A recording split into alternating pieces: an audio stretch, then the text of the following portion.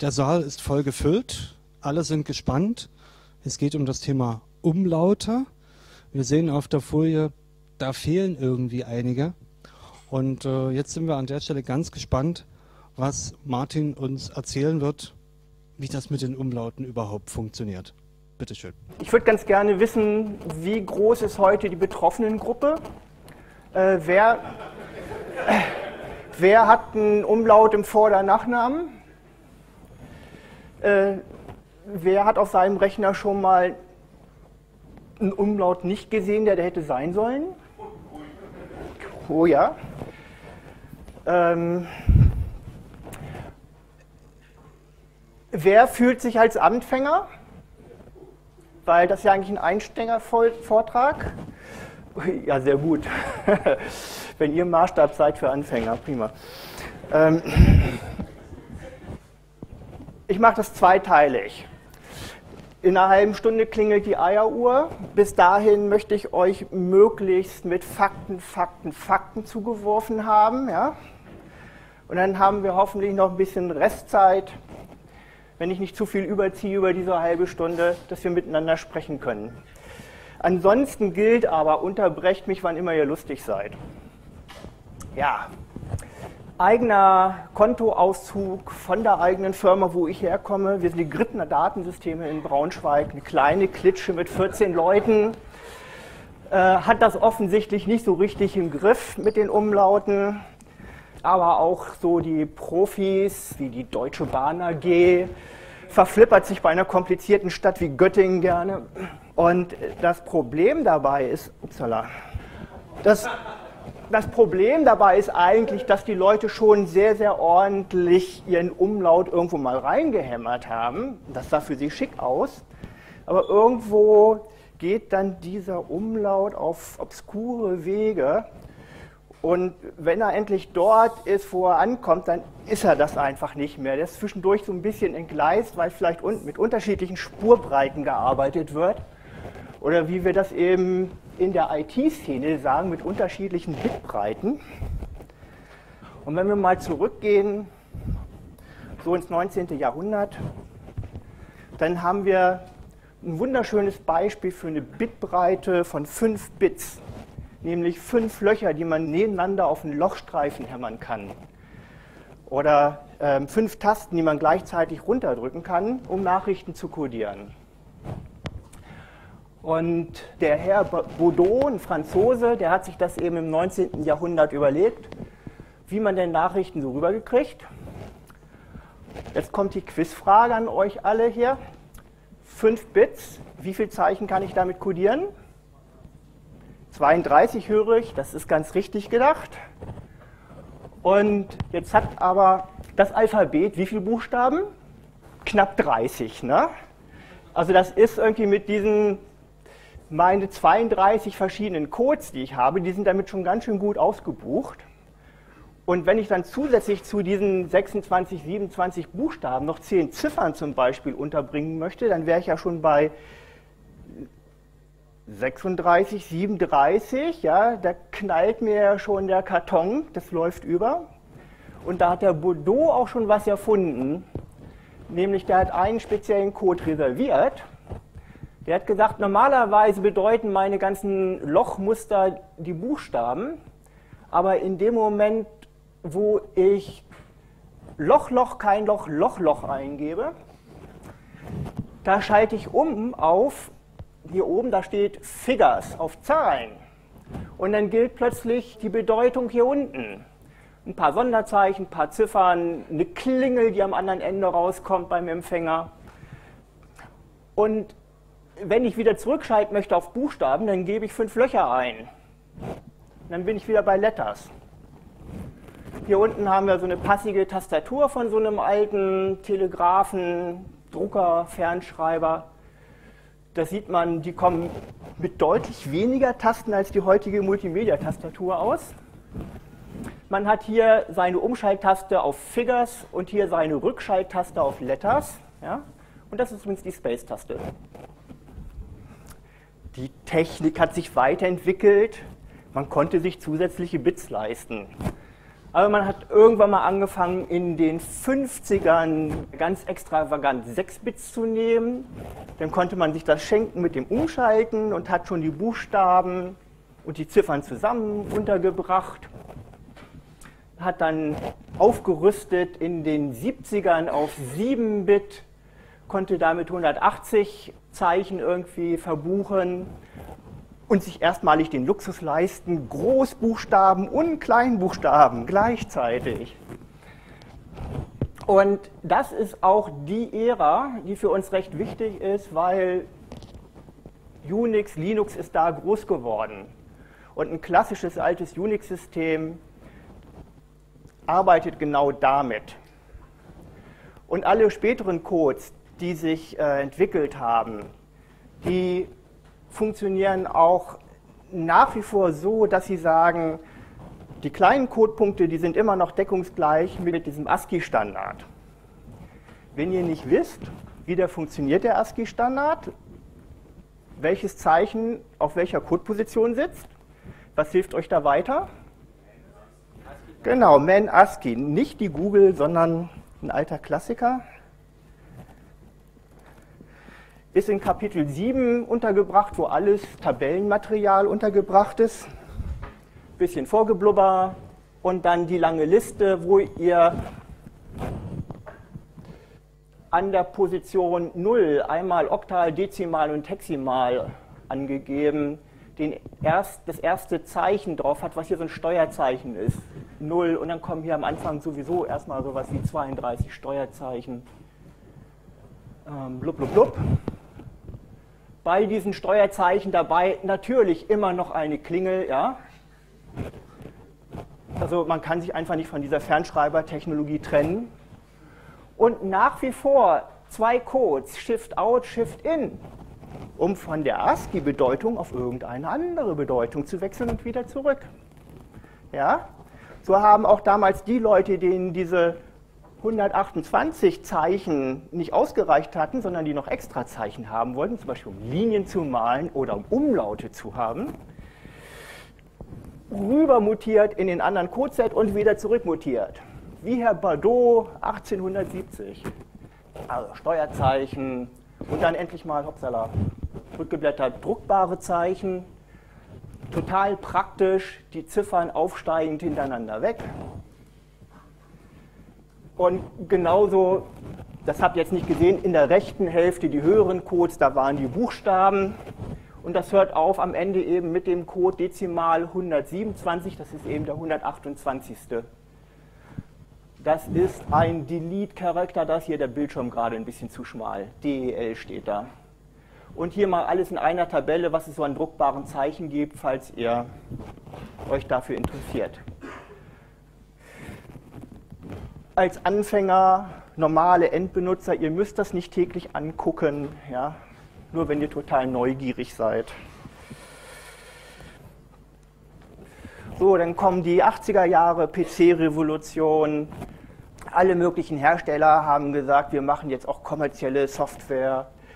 Und das Volk möchte seinen Vornamen und seinen Nachnamen in echt sehen können. Nicht durch so ein doofes AE oder eine Lücke wie auf dem Kontoauszug. Und IBM, Apple, Digital Equipment, alle haben sie ihre eigenen Suppen gekocht, ähm, mehrfach. Dann ab Mitte der 80er wurde jede Menge standardisiert. Die International Standards Organization hat eine ganze Serie von Standards rausgebracht für lauter unterschiedliche Codierungen, die mit 8-Bit arbeiten. Und das ist die Folge von die alle durchnummeriert sind mit 8859. Die gibt es heutzutage von bis 1 bis 16. Und die Tabelle 8899.1, da versammelt sich alles an Zeichen drin, was für westeuropäische Länder in Gebrauch ist.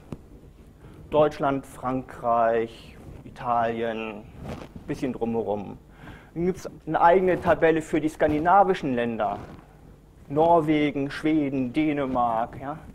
Etwas für Südosteuropa, etwas für die Türkei alleine, etwas für Russland und die Gegend. Wie gesagt, 16 Tabellen mit viel Tatütata ist eingeführt worden die Variante Strich 15, auch bekannt als ISO Latin 9. Nicht 15, ISO Latin 9 ist 88, 49, 15. Das ist nämlich verdammt ähnlich zu ISO Latin 1, da der Strich 1, hat aber ein Euro-Symbol drin. Dafür mussten ein paar andere Zeichen sterben. Okay. Wem diese ganzen 8-Bit-Kodierungstabellen überhaupt nicht geholfen waren, das waren die Völker, in deren Sprachen es ein bisschen mehr Zeichen gibt. Ja? Sowas wie die Chinesen und Japaner, die irgendwie, also für eine gesittete Unterhaltung wollen die schon gerne mal Minimum 2000 Zeichen haben. Ja? Ist ein bisschen mehr, als man in diese 8-Bit reinschieben kann. Deswegen haben die sehr oft Codes gehabt, die 16-Bit breit sind. Da passen eine Menge Zeichen rein, nicht nur ihre eigenen, die dann so den, sagen wir mal, 20.000 brauchen, ja, für ein richtig ausgedehntes, reichhaltiges Wörterbuch, nur für die Bildzeitung. Etwas, was nicht großartig Einsatz gefunden hat, hier so in dieser Region. Also hier hat man sich in der Regel begnügt mit entweder ASCII 7-Bit oder ISO Latin 1 Isoletin 9 oder eben dem Spezialzeichensatz, dem einen der Hersteller verpasst hat, also Apple zum Beispiel. Der aber eben anders ist, weil den Apple-Leuten war wichtig, dass in der Typografie alle möglichen Varianten von Gänsehäkchen irgendwie verfügbar sind. Den Microsoft-Leuten war vielleicht unheimlich wichtig, dass sowas wie ein Trademark-Zeichen und ein Copyright dabei ist. Und, ähm, da muss man gewaltig auch heute noch gucken, was wird einem vor die Fresse geworfen. Die große Lösung soll so eine eierlegende Wollmilchsau bringen, die heißt Unicode oder Universal Character Set. Da will man Schluss machen mit dem leidigen Hin- und Herschalten. Die wollen alle Zeichen, die auf dieser Welt irgendwie in Gebrauch sind, verorten und eine schöne lange Liste haben. Ja?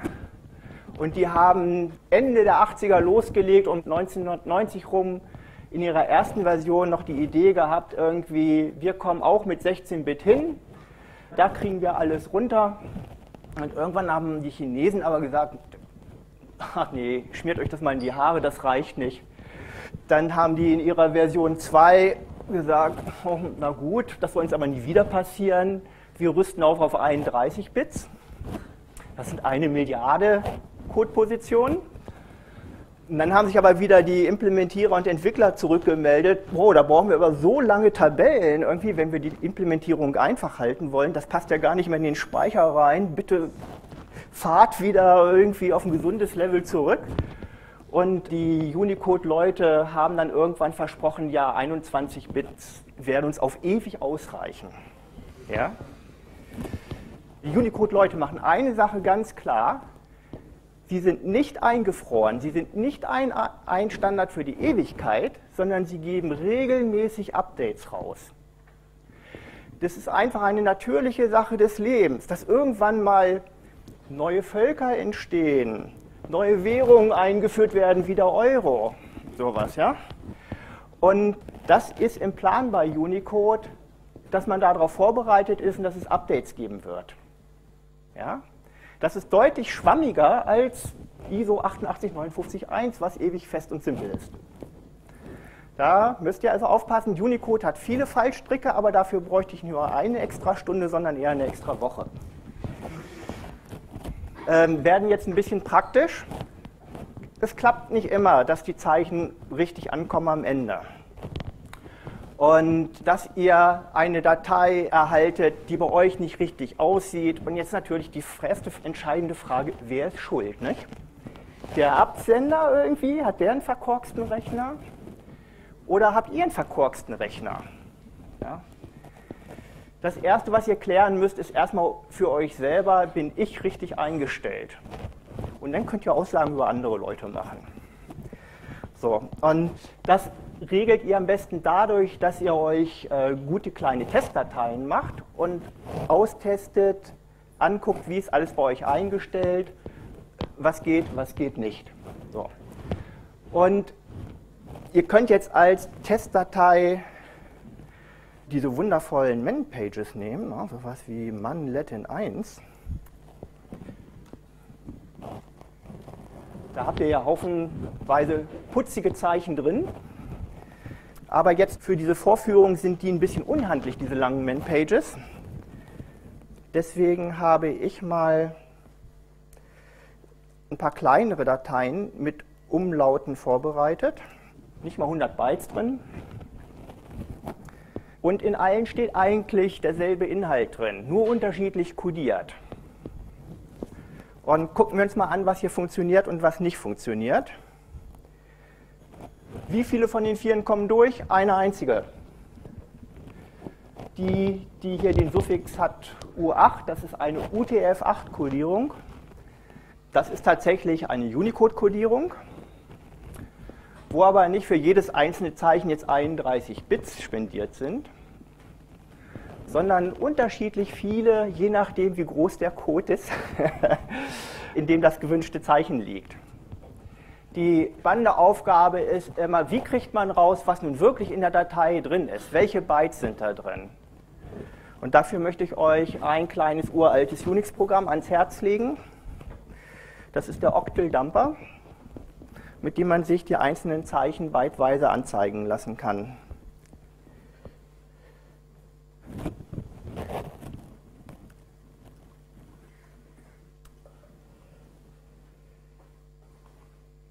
Und jetzt sehen wir schön das simple ASCII-Zeichen A, das simple ASCII-Zeichen E, das simple Doppelpunkt.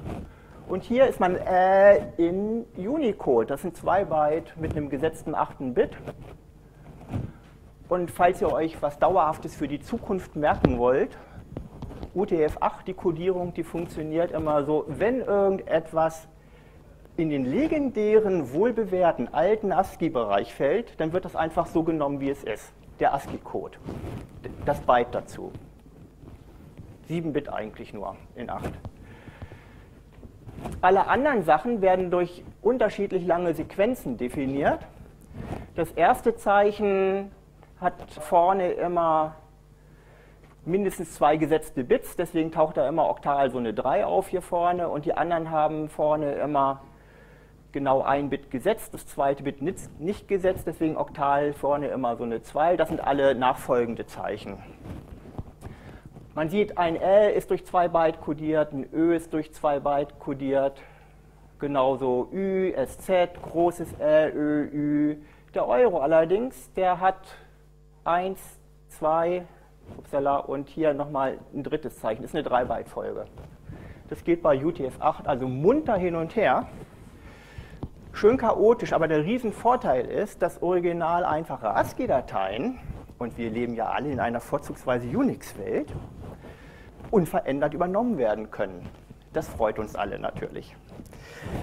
Die anderen Varianten, die wir haben, sowas wie ISO Latin 9, also das, das Ding 8-Bit mit dem Euro, ja, sieht dann so aus.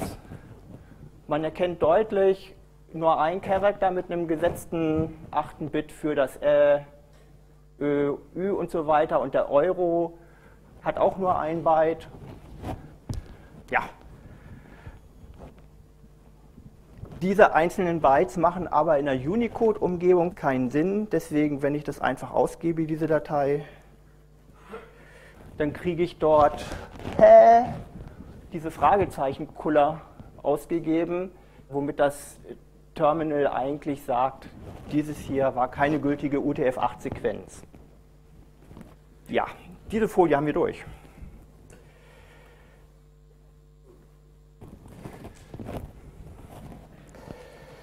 Wenn wir was Kaputtes auf dem Schirm haben, wie gehen wir damit um? Wie eben, wir gucken uns wirklich an, was ist es sehen irgendwie was wie, ja, hier ein Byte pro Zeichen, irgendwie wird wohl Latin 9 sein oder vielleicht auch Latin 1, mal gucken. Und dann gibt es ein wunderbares Programm, mit dem man zwischen Zeichensätzen, also zwischen Codierung hin und her wandeln kann.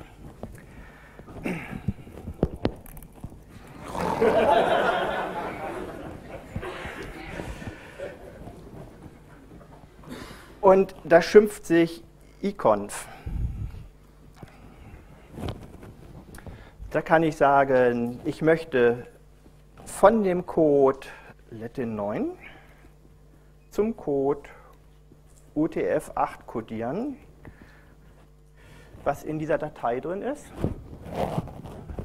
Und schon habe ich das für mein Terminal, was ja Unicode UTF-8 gerecht ist, wie wir vorher schon mal festgestellt haben. Ja, das klappt ganz prima.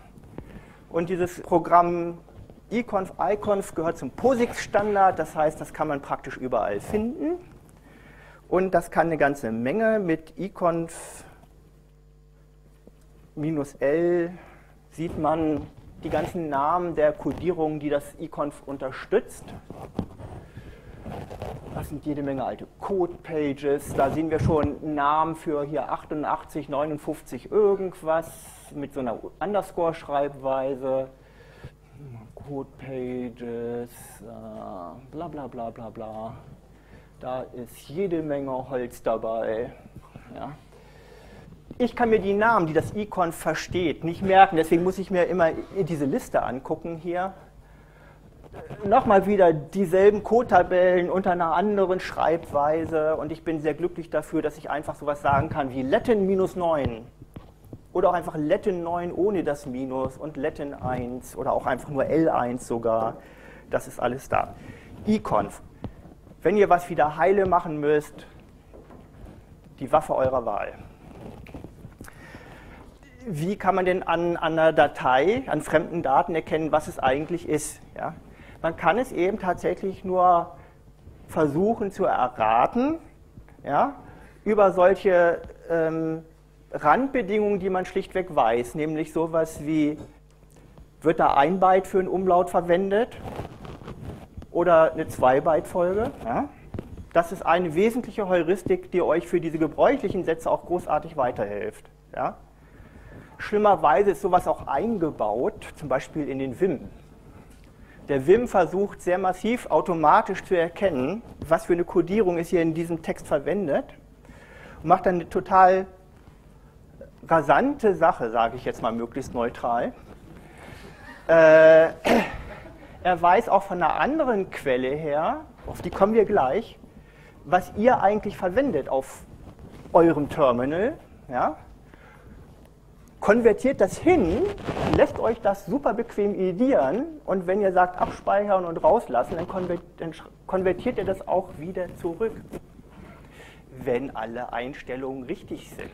Wenn sich da jemand verflippert hat, dann ist das vielleicht nur die eine Richtung, aber ihr speichert es dann ab in dem, was ihr verwendet und euer Teamkollege spricht die nächsten zwei Wochen nicht mehr mit euch.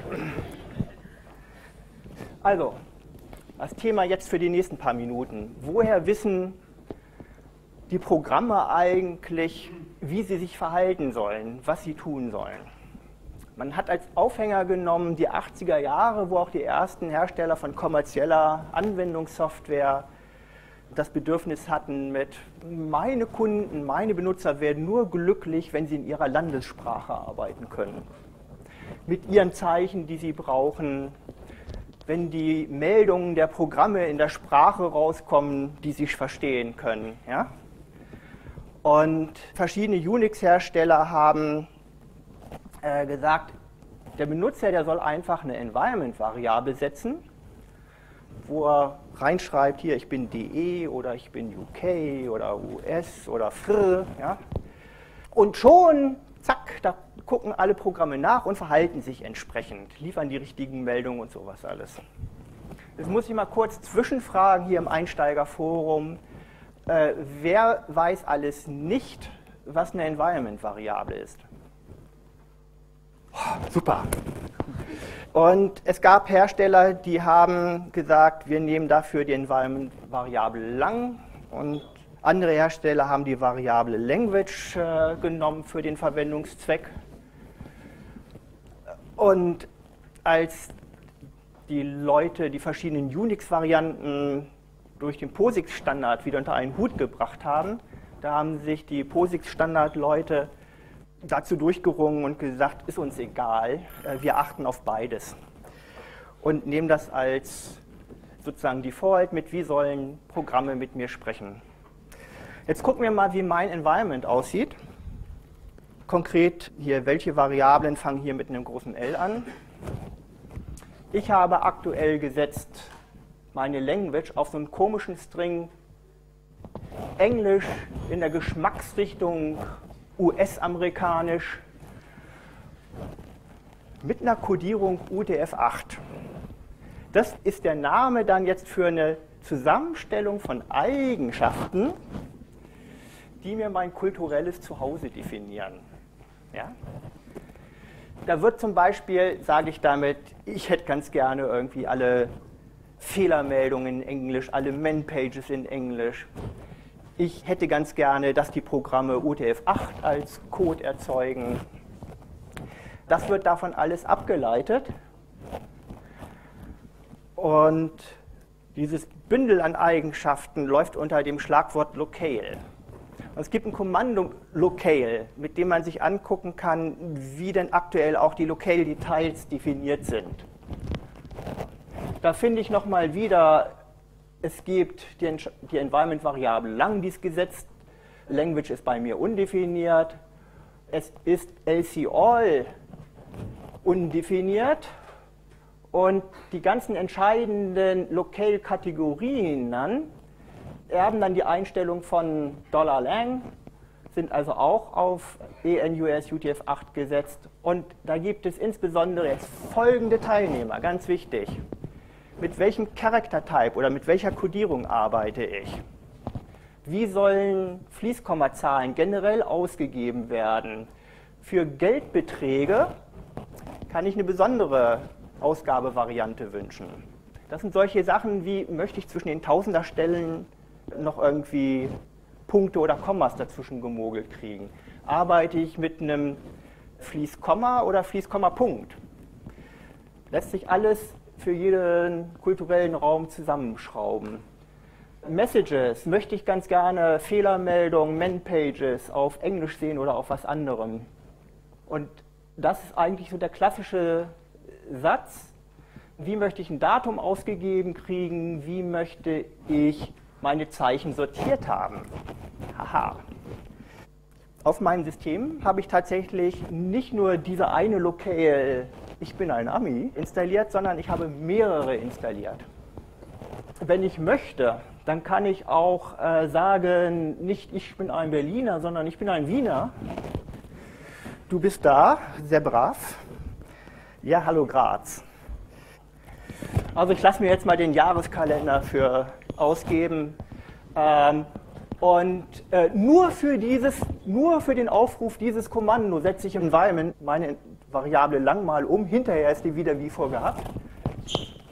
Da kriege ich jetzt einen wunderbaren Kalender mit. Es gibt Leute, die legen immer den Finger in die Wunde.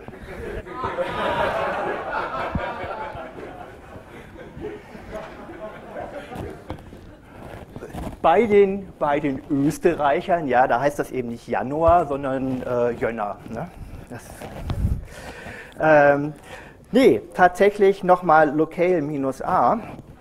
Anders als bei den Locale-Bezeichnungen, die da sowas wie dieses hier im Namen haben oder dieses hier im Namen haben, wo man hier so eine Codierung schon schwer erraten kann, ist hier nichts dabei. Und offensichtlich ist bei diesem Locale-Paket die Codierung nicht UTF-8. Ja? So, aber das kann ich ja übermotzen. Ja? Ich kann sagen,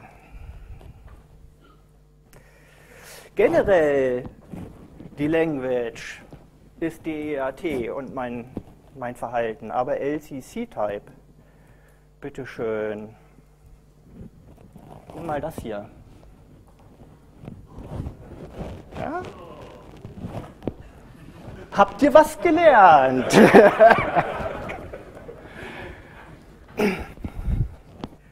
ich arbeite ja in einer deutschen kleinen Klitsche und habe tatsächlich, äh, obwohl ich eine Präferenz habe für englische Kommandoausgaben und sowas, dann wieder doch andere Sondereinstellungen, die mich ein bisschen deutscher machen wieder.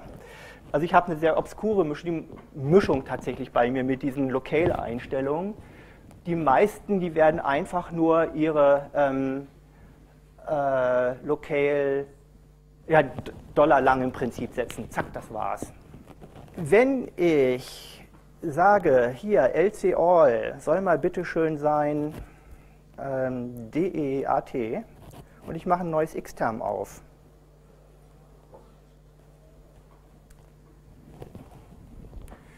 Oh, ein bisschen größer hier. Ich frage das Datum ab.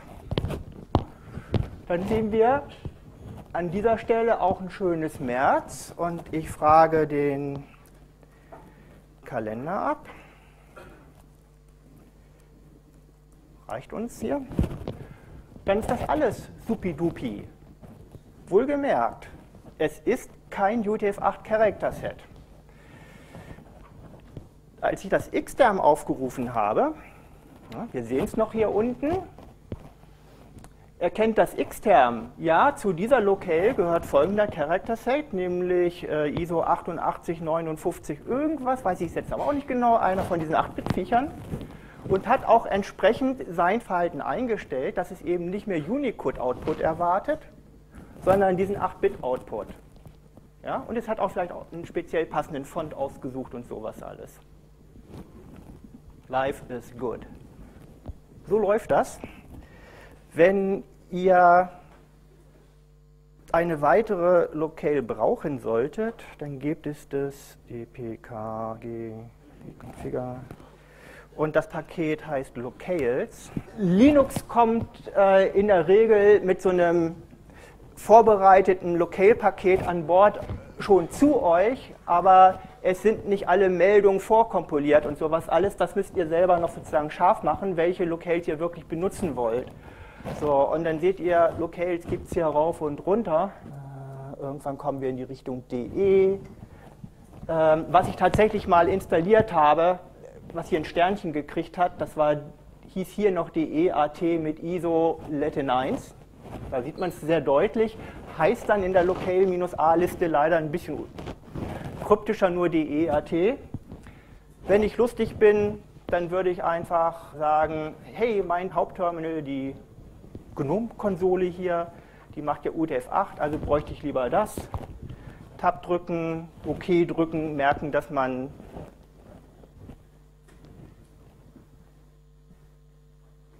Äh, ich, will keine, ich will keine Default Locale haben.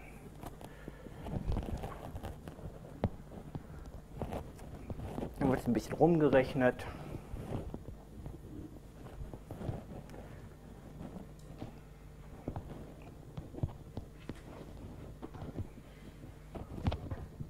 Ah, jetzt haben wir auch dieses hier auf Tasche. Und jetzt können wir auch sagen, äh,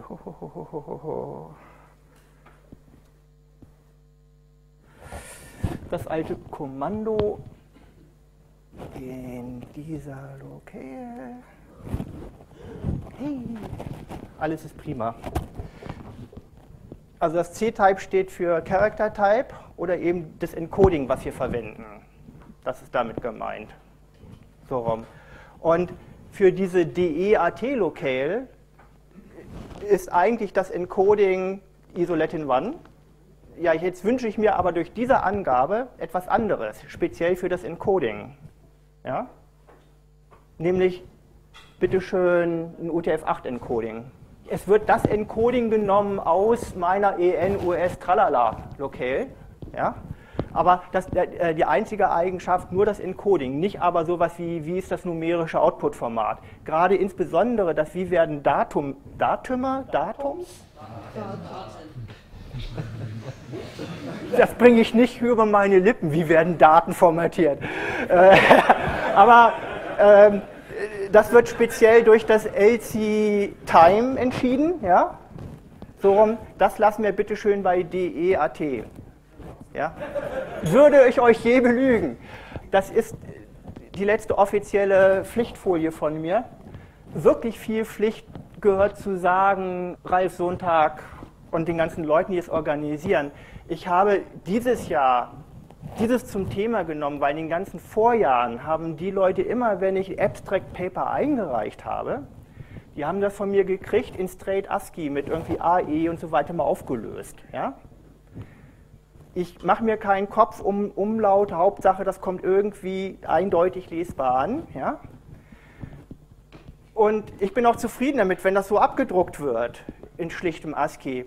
Aber jedes Jahr, in den drei, vier Jahren davor, haben die es immer genommen, den Text, und schön per Hand immer da Umlaute draus gemacht. Und deswegen ganz besonders vielen Dank an die ganze Arbeit, an, an den Veranstaltern hier, Reis Sonntag, das Paper-Team. Ganz wichtig. Die Kollegen bei mir zu Hause haben geholfen, sowas wie Kontoauszüge zu scannen. Meine Buchhaltung hat erkannt, dass Better Safe than Sorry, ne, nicht ganz so schön, aber wir wissen, um wen es geht in unserer Firma. Ulrich Trepper, Bruno Heible haben die ganze Arbeit gemacht, damit in Linux diese ganzen verschiedenen Codesets und Locales und econf, dass das alles überhaupt geht. Die haben das implementiert. Und äh, Roman Chibara, Markus Kohlen haben auch äh, sehr viel dokumentiert und schon How-Tos gemacht, Readmes für wie kann ich Unicode, wie kann ich UTF-8 verwenden, könnt ihr auch gut nachlesen, das sind ja alles Links. Die ganzen Slides gibt es auf meiner Vortragswebseite. Praktisch so gut wie hier hinten abgedruckt am Ende von dem Vortrag, aber dann ist doch irgendwie die Lok unterwegs umgekippt und sie hat die Tilde vergessen vor Tilde Neitzel. Es gibt keinen besseren Platz für diesen Fehler als hinter diesem Abstract. Geil, wir haben noch sechs Minuten. Äh, ich habe für Rückfragen auch noch also wir sind hier bei Punkt 10 durch. Für Rückfragen habe ich noch Anregungen. Fragt mich, was ihr wollt. Wenn ich meine Local auf C setze, welches Encoding liegt denn dann dahinter? Gute Frage. Nochmal hier in die Liste Locale-A. Es gibt tatsächlich ah. eine Locale, die heißt C und es gibt eine, die heißt POSIX. Und der POSIX-Standard sagt, dass es die bitte schön immer geben muss und dass die gleichwertig sind. Und der POSIX-Standard sagt, dass die alles das enthalten, was ASCII enthält, Minimum, in der Reihenfolge, wie es bei ASCII ist. Ja? Und das ist, was euch garantiert wird dabei. Tatsächlich ist es so, dass diese C-Locale auch als praktisch das Encoding 7-Bit ASCII definiert. Ja? Wenn ich jetzt nämlich sage, guck mal, an dieser Stelle, weil ich jetzt den Character Set Straight ASCII habe, ja, kann mit dem R nichts mehr angefangen werden und ich kriege tatsächlich jetzt ein Fragezeichen. Und das ist ein ASCII-Fragezeichen wohlgemerkt, ja, da reingenatzt als Ersatzzeichen. Dieses econf-Kommando hat eine Option, womit man, wenn denn der Zielzeichensatz nicht alles das enthält, was man jetzt eigentlich bräuchte, ja, wo er mit ähm, Ersatzlösungen geben kann. Ja? Iconf nochmal hier. Wenn wir von dem Latin 9 tatsächlich zum Beispiel auf C, ach so, halt, nee, bei Iconf heißt das tatsächlich ASCII, nicht C, umtauschen lassen, dann gibt es da ein Problem, und zwar recht früh schon bei Position 3, bei dem ersten äh. Und wenn ich dieses komische hinten dran hänge, dann kriegen wir jetzt eine, äh, sagen wir mal, 15% Annäherung. Finde ich nicht so prall. Unter FreeBSD hat schon im Jahr 2000 das Translit besser geklappt dort. Die machen da wirklich eine AE draus. Also für die Umlaute klappt das nicht gut, für das SZ klappt das allererste Sahne und für den Euro klappt es auch allererste Sahne. Ich verstehe nicht, warum Sie das hier in dieser, bei den Umlauten nicht auf Reihe gekriegt haben. Send a Bugfix. Nächste Frage. Ich habe einen File-Server und da wurde Mist gebaut und jetzt habe ich da Dateinamen im falschen Encoding hey. äh, gemischt. ja, Danke schon mal. Ich kann dazu äh, einen, einen, konstruktiven Vorschlag geben. Ja? Formatieren. Diese, diese, Files, diese Files, die haben nicht nur ein File-Name, ja, sie haben auch einen Owner der äh, soll das wieder heile machen. Wer es kaputt macht, macht es auch wieder heile. Hey, direkt irgendwie die übernächste Folie nach meiner Danke-Folie, ja, ist diese Seite hier. Darüber sollten wir sprechen, Kinder. Umlaute in der Teilnahme. Tut es nicht. Ja? Es, genauso wie Leerzeichen schon eine große Krise sind, ja, sind aber Umlaute noch ein größeres Desaster, weil übers Netzwerk kann ein und dasselbe Filesystem mit unterschiedlichen Optionen gemountet werden, was mit den Namen eventuell zu tun hat. Dann wird ein, Character Set Encoding Umkodierung gemacht für Dateinamen und dann sieht das auf unterschiedlichen Client-Stationen unterschiedlich aus. Hier gut, da schlecht und das ist nur Chaos. Tut es nicht. Ein klasse Vortrag.